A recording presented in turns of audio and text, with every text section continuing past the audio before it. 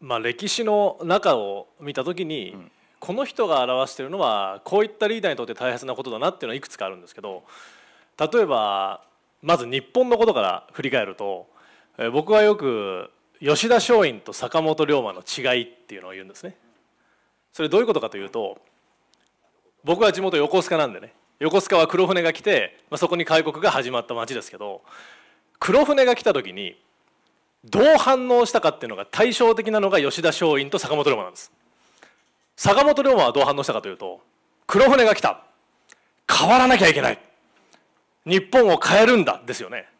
これ坂本龍馬なんです。吉田松陰。黒船に乗せてってって言ったんです。これすごいことだと思いませんか？命がけですよ。それ幕府にバレたら打ち首ですから。で密航して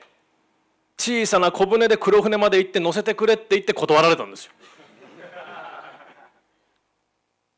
だけどここでこの2人のね黒船が来た時のリアクションの違い、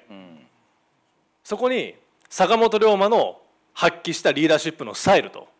これで変えるんだっていうところとね吉田松陰がこんなものがあるのかと。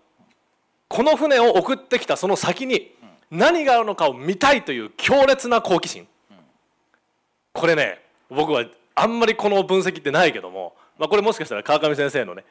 分野としてこれからあれですよね。あるかもしれないど。どっちがいいっていうわけではないってことどっちがいいじゃないです、ん。ただその